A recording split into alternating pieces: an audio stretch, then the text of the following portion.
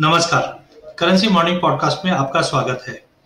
सबसे पहले कल के सेशन की अगर बात करें, कल यूएसडी में भी हमने गिरावट आते हुए देखी ईरो जीबीपी जेपीवाई सभी में हमने गिरावट आते हुए देखी है।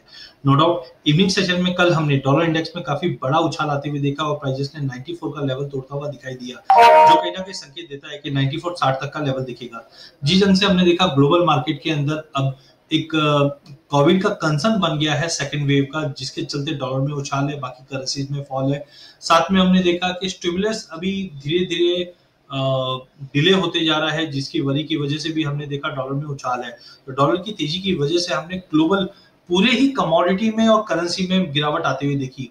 साथ में यूके में हमने देखा नंबर जी ढंग से बड़े फिर से लॉकडाउन के रेस्ट्रिक्शंस बढ़ सकते हैं, जो प्राइजेस पे दबाव कर रहा है।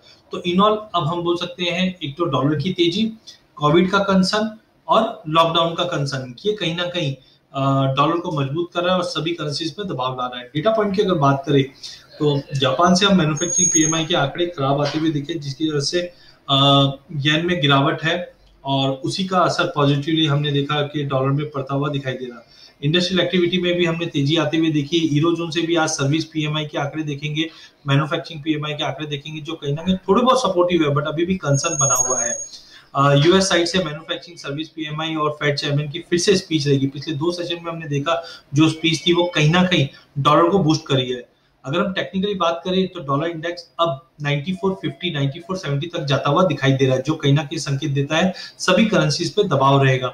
ईरो में हमने देखा कि इचीबी को क्लाउड के नीचे आ चुका है, जो 8340 तक का लेवल दिखा सकता है। तो ओवरऑल ईरो पाउंड और जेपीवाई इनमें हमें बेच के काम करना चाहिए।